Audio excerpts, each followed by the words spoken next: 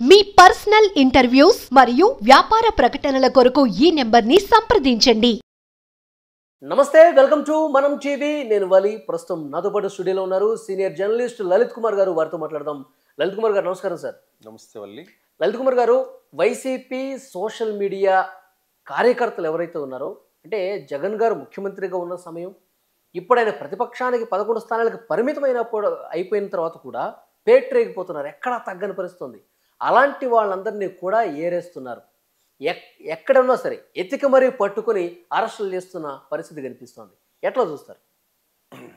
వైసీపీకి సంబంధించిన సోషల్ మీడియాకి సంబంధించిన ఈ ఇష్యూలో రెండు వేల పంతొమ్మిదిలో జగన్మోహన్ రెడ్డి ప్రభుత్వం ఏర్పాటు చేసిన తర్వాత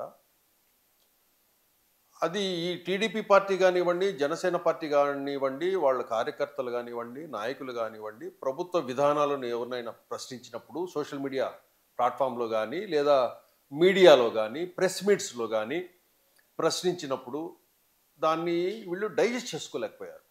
అంటే ఒక్కసారిగా వన్ ఫిఫ్టీ వన్ సీట్స్ వచ్చేసరికి ఇంకలా మేమేం చేసినా మమ్మల్ని ప్రశ్నించే హక్కు మీకు లేదు. ప్రజలంతా మాకు వన్ ఫిఫ్టీ వన్ ఇచ్చారు. మేమేమైనా చెయ్యొచ్చు.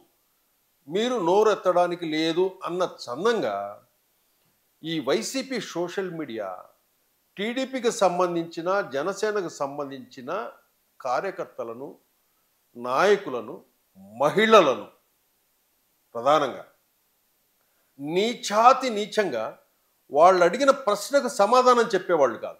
సోషల్ మీడియాలో ఏదైనా ప్రభుత్వాన్ని ఒక ప్రశ్న ప్రభుత్వాన్ని ఏదైనా ఒకటి ప్రశ్నను సంధించినప్పుడు ఆ ప్రశ్నకు తగ్గట్టు సమాధానం ఇచ్చేవాళ్ళు కాదు. డైరెక్ట్ నేరుగా బూతులతో దాడి చేసేవాళ్ళు. ఆ విధంగా అంటే బూతులతో దాడి అంటే అదేదో తిట్టుతోనో ఇంకోటితోనో పోయేది కూడా కాదు. అంటే ఇంకా నీచాతి నీచంగా లైంగికంగా బెడ్రూముల్లోకి జొరపడి ఉమ్, బట్టలిప్పే విధంగా ఆ విధంగా వీళ్ళు ఆన్సర్ చేసేవాళ్ళు. దీంతో కొంతమంది అంటే మమ్మల్ని ప్రశ్నించకుండా వాళ్ళు ఆ తప్పి అక్కడి నుంచి వెళ్ళిపోతారు. సోషల్ మీడియాలో ఉండరు మనల్ని ప్రశ్నించరు. ఈ రకమైన దాడి చేస్తే ఉండరు. ఇప్పుడు సపోజు జెంట్స్ ఎవరన్నా అనుకోండి లీడర్సు. ఓకే. వాళ్ళ భార్యల్ని వాళ్ళ పిల్లల్ని నీచాతి నీచంగా చేసేవాళ్ళు. ఇదే కాకుండా ఫోన్ కాల్స్ చేసేవాళ్ళు. అర్ధరాత్రుళ్ళు ఈ మహిళా కార్యకర్తలకు సంబంధించి జనసేన టీడీపీకి సంబంధించిన మహిళా కార్యకర్తలకు సంబంధించి వాళ్ళ ఫోన్ నంబర్లు తీసుకొని అర్ధరాత్రులు కాల్స్ చేసేవాళ్ళు. అలాగే చాలా నీచాతి నీచంగా వాట్సాప్లో మెసేజ్లు. మొబైల్ మెసేజెస్ కూడా పంపించేవాళ్ళు. అనిత గారు మనం చెప్తా ఉన్నారు. ప్రతిపక్షంలో ఎలా ఉండేదంటే ఏమే లా ఏమే? నీ నీ అక్క నీ అమ్మ నీ యాలి ఇట్లుండేటి. లా.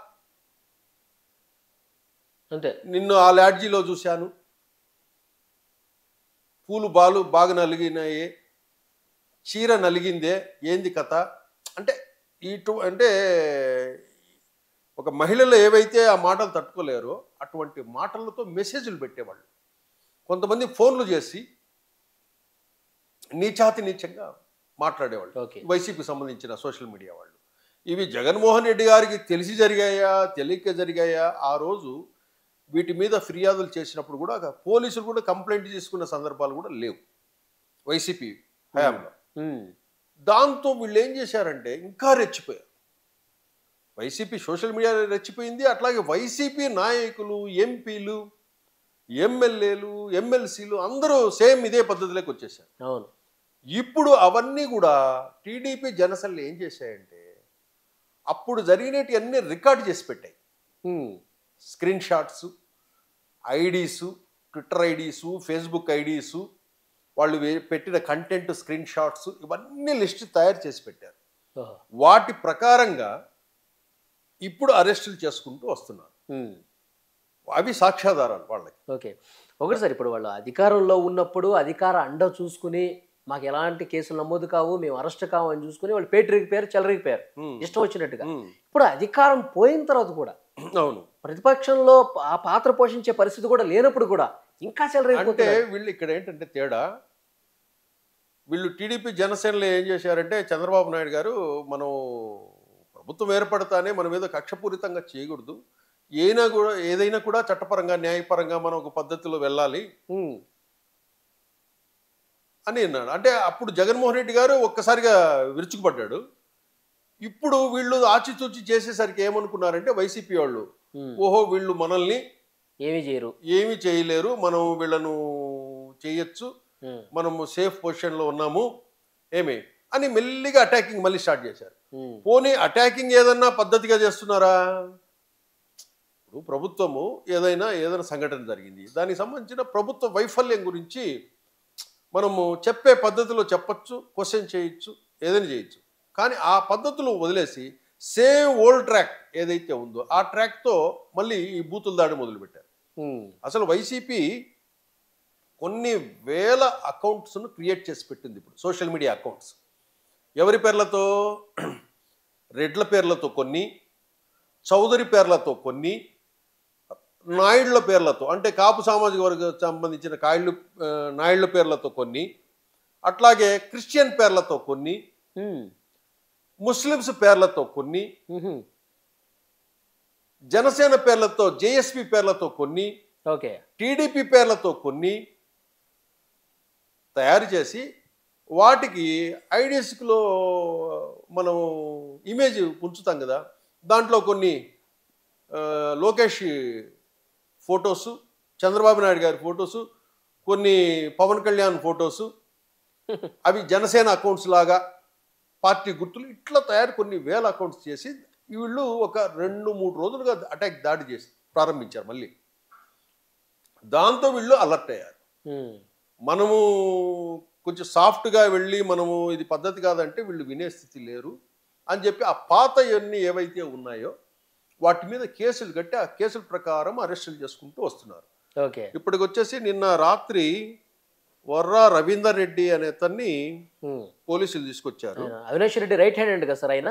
అవినాష్ రెడ్డి రైట్ హ్యాండ్ అంటే పులివెందల్లో ఉంటారు భారతి గారితో ఉంటారు జగన్కు సన్నిహితుడే. అదే. ఎందుకంటే మనకు సోషల్ మీడియాలో ఫొటోస్లు అన్ని చూస్తే జగన్తో కూడా మంచి సన్నిహితంగా ఉన్నారు భారతి గారితో సన్నిహితంగా ఉన్నారు. పులివెందుల వాసి కాబట్టి సన్నిహిత సంబంధాలే ఉంటాయి. ఓకే. వర్రా రవీందర్ రెడ్డి కల్లి నాగిరెడ్డి కళ్ళం హరికృష్ణారెడ్డి బోడే వెంకటేష్ మేకా వెంకట్రామరెడ్డి ఇలాగా ఇంకా కొంతమందిని వీళ్ళు కొంచెం ఐడెంటిఫైడ్ పర్సన్స్ పది మందికి తెలిసిన వాళ్ళు కాబట్టి వాళ్ళ నేమ్స్ ఇచ్చారు. వీళ్ళతో పాటు కొంతమంది సోషల్ మీడియా వాళ్ళని కూడా అరెస్టులు చేశారు. వీళ్ళ మీద కేసులు పెట్టి రేపు ఇంకా కోర్టులో సబ్మిట్ చేసి రిమాండ్ ఇంకొకటి సార్ మొన్న డిప్యూటీ సీఎం పవన్ కళ్యాణ్ గారు బహిరంగంగానే తన అసంతృప్తిని వ్యక్తం చేసిన నేపథ్యంలో మరుసటి రోజే అరెస్టులు జరగటాన్ని అంటే ఒక కదలిక వచ్చిందని భావించాలా? అది అనుకోవాలి. ఎందుకంటే చంద్రబాబు నాయుడు గారి దగ్గర ఏంటంటే కొంచెం ఆచితూచి వెళ్దాం. కొంచెం ధోరణి ఒకటి రెండు మూడు కొద్ది ఇప్పుడే మనం ఎందుకు స్పందించాలా అనే ఉద్దేశం ఆయన కొంచెం స్లో ఉంటారు. కానీ ఎప్పుడైతే ఈ దాడులు కంటిన్యూ అవుతున్నాయో అదే ప్రశ్నించాడు పవన్ కళ్యాణ్ గారు. మనం ఎందుకు అధికారంలో ఉండి మనం ఎందుకు చర్యలు తీసుకోలేకపోతున్నాము? వాళ్ళు అటాకింగ్ చేస్తున్నారు కదా. మీరేం చేస్తున్నారని చెప్పేసి కార్యకర్తలు ప్రజలు అడుగుతున్నారు మనల్ని. అదే. దాని మీద చర్యలు తీసుకోవాలి కదా అని చెప్పి ఆయన ఆవేదన వ్యక్తం చేశాడు. దాన్ని పరి పరిపరి విధాలుగా వీళ్ళు వైసీపీ ఆనందపడింది వాళ్ళు ఏదో చేసుకున్నారు. కానీ ఆయన ఆలోచన ఏంటంటే మనం చర్యలు తీసుకోవాలి రిజల్ట్స్ ఉండాలి మనం వర్క్ చేయాలి. లేదంటే వీళ్ళు ఏం చేయలేరులే అని చెప్పి ఇంకా ఎక్కువైపోతుంది పెట్టరేగిపోతున్నారు. అనే ఉద్దేశంతో. ఇంకా కూడా జగన్మోహన్ రెడ్డి గారు ఇప్పుడు కొన్ని వందల కోట్ల రూపాయలు డిజిటల్ మీడియాకు డబ్బు కేటాయించున్నాడు. కొన్ని యూట్యూబ్ ఛానల్స్ సోషల్ మీడియా అకౌంట్స్ను క్రియేట్ చేసి వాటికంతా కొన్ని వందల వేల కోట్లు దానికోసం కేటాయించున్నాడు. ఎందుకంటే మనం డిజిటల్ మీడియా ద్వారానే మనం చేయాలి. చంద్రబాబును చెడ్డ చేయాలి లేకపోతే పవన్ కళ్యాణ్ చెడ్డ చేయాలి టీడీపీ జనసేనను చెడ్డ చేయాలి అదే నన్ను కాపాడుతుంది అనే భావనలో ఆయన ఉన్నాడు. ఓకే. కాబట్టి కూడా ఇప్పుడు ఆ వర్క్ కూడా జరుగుతుంది సోషల్ మీడియానని. కాకపోతే సోషల్ మీడియా ఎవరైనా పట్టుకోవచ్చు చేయొచ్చు కానీ దాన్ని మనం ఈ కార్యకర్తలకు పనిచేసే వాళ్ళకు ఇబ్బందులు రాకుండా మనం పాజిటివ్ వేలోనే మనం ప్రమోట్ చేసుకోవచ్చు. ఒక ప్రభుత్వాన్ని విమర్శించాలన్నా లేకపోతే మిమ్మల్ని మీరు ప్రమోట్ చేసుకోవాలన్నా వైసీపీని ఒక పాజిటివ్ వేలో కంటెంట్ ఓరియంటెడ్లో చేసుకోవచ్చు. అది- అది హక్కు వాళ్ళకు. కానీ ఈ బూతులు తిట్టడము వీడియోలు మార్ఫింగ్ వీడియోలు పాత వీడియో క్లిప్పింగ్స్ అటాచ్ చేయటము కొన్ని దాంట్లో మాటలు ఎడిట్ చేసి పెట్టడము. అవును. ఇట్లాంటివన్నీ అవి దీని మీద నిశ్చితంగా గమనించే పరిస్థితి ఉంటుందా? ఇక నుంచి ఇక ప్రభుత్వం? నుంచి డిజిటల్ మీడియా మీద కన్ను ఉంది కదా దానికంటూ ఓకే. ప్రతిదీ ఎందుకంటే జనసేన కానీ వీళ్ళు కానీ వీళ్ళు కూడా చిన్న వ్యవస్థ ఏం కాదు డిజిటల్ మీడియాలో. టీడీపీ అండ్ జనసేనలు. ఈ వెరీ స్ట్రాంగ్ వెరీ స్ట్రాంగ్ దేంట్లో కంటెంట్ డెవలప్ చేయటంలో. కంటెంట్ను క్రియేట్ చేయటంలో ప్రజలకు అర్థమయ్యే విధంగా చెప్పగలగటంలో టీడీపీ జనసేనలు వెరీ స్ట్రాంగ్ వీళ్ళ మైనస్ ఏంటంటే వైసీపీ మైనస్ ప్రజలకు చెప్పగల అర్థమయ్యే రీతిగా చెప్పలేకపోవటము. అది వాళ్ళ ఫెయిల్యూరే ఏదైనా విషయాన్ని ప్రజలకు అర్థమయ్యే విధంగా ఇది కాదు దీనివల్ల లాభాలు ఇవి దీనివల్ల నష్టాలు ఇవి అని వివరంగా చెప్పలేవు. అదే టీడీపీ జనసేన సోషల్ మీడియా వాళ్ళు బాగా చక్కగా చెప్పగలుగుతారు. ఓకే. మొన్న ఎలక్షన్ టైంలో కూడా ల్యాండ్ టైటిలింగ్ యాక్ట్ ఉంది కదా? ల్యాండ్ టైటిలింగ్ యాక్ట్ గురించి ప్రజలకు వివరం వివరి అర్థమయ్యే విధంగా టీడీపీలు జనసేనలు వివరించి చెప్తున్నాయి. ఆ టైంలో వైసీపీ సోషల్ మీడియా ఏం చేస్తుంది తెలుసా? జగన్మోహన్ రెడ్డి ఫోటోలు వీడియో క్లిప్పింగ్స్ చేసుకుని ఆ సిద్ధం సభల పాటలు ఉన్నాయి. అన్న మెడలు వంచడు ఎవడికి అన్న ముందు కొడుతున్నారు తోడలు. ఈ పాటలతో అవి ఉన్నాయి కానీ మీడియాలో. కంటెంట్ కంటెంట్ వాళ్ళు ఏదో చేస్తున్న ఆ పాటలు ఆ బ్యాక్గ్రౌండ్ స్కోరు ఆ విజువల్స్ అన్న జగనన్న దండాలు పెట్టేటి అవి ఇవి బస్సు దిగేటి బస్సు ఎక్కేటి. అవును. ఇవి ప్లే చేసుకుంటున్నారు కానీ ఆ సమయంలో టీడీపీ జనసేనలు ఏం చేస్తున్నాయి? కంటెంట్తో ప్రజలకు లైన్ ల్యాండ్ టైటింగ్ టైటిలింగ్ యాక్ట్ గురించి నీట్గా ఎక్స్ప్లెయిన్ చేస్తున్నాయి. ఎవరి చేత చేస్తున్నాయి? పార్టీ వాళ్ళు చేయటం అది. పార్టీ వాళ్ళు నాలుగైదు వీడియోలు చేసి ఇచ్చారు. తర్వాత ఎక్స్పర్ట్స్ చేత చెప్పించేవాళ్ళు సోషల్ మీడియాలో వీడియోస్. ఒక లాయరు ఒక చార్టెడ్ అకౌంటెంటు ఒక టీచరు ఒక ఎల్ఐసి ఏజెంటు అట్లా డిఫరెంట్ డిఫరెంట్ పీపుల్తో. అర్థమయ్యే అర్థమయ్యే విధంగా ప్రొజెక్ట్ చేశారు. ఓకే. అది వైసీపీని ల్యాండ్ టైటిలింగ్ యాక్ట్ కొట్టిన దెబ్బ అది చిన్న దెబ్బ కాదు. చాలా దారుణంగా మంచి లాగి పెట్టి కొట్టింది వైసీపీ. అవును. వీళ్ళు కూడా వెరీ స్ట్రాంగ్ టీడీపీ అండ్ జనసేనలు కూడా సోషల్ మీడియాలో స్ట్రాంగ్. ఇప్పుడు జగన్మోహన్ రెడ్డి గారు ఈ ఇప్పుడు వస్తున్నారు సోషల్ మీడియా కంటెంట్ డెవలప్ ఇప్పటి వరకు చేసిన బూతులు మానసికంగా దాడులు ఇవన్నీ పక్కన పెట్టేసి ఇప్పటికైనా కంటెంట్ మీద వాళ్ళు దృష్టి పెట్టాలా? అంతే కంటెంట్ మీరు దృష్టి పెట్టండి.